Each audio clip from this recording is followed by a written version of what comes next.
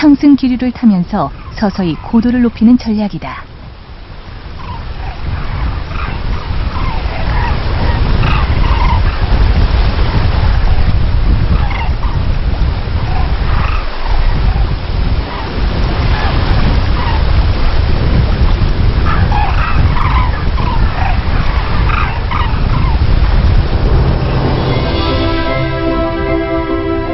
창공 높이 올라선 두루미들.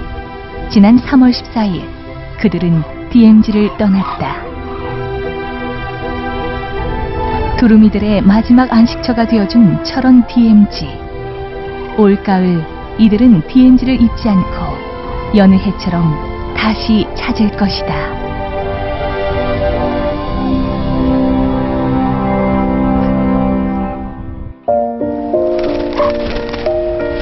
철원에 있는 동송초등학교 4학년 김다정, 김다현입니다. 저희는 쌍둥이입니다. 뚝 닮은 얼굴만큼 저희는 좋아하는 것도 비슷하지요. 그중 하나가 바로 새입니다. 특히 두루미요. 두루미는 우리가 사는 철원에 해마다 겨울이면 날아옵니다. 저희 아빠가 농사를 짓는 논에도 찾아와 먹이를 먹어요. 그래서 저희는 추수할 때면 아빠한테 부탁하지요. 두루미 먹이를 꼭 남겨주라고요. 지난 겨울에는 두루미가 우리 논에서 먹이 먹는 모습을 그림으로 그리기도 했어요.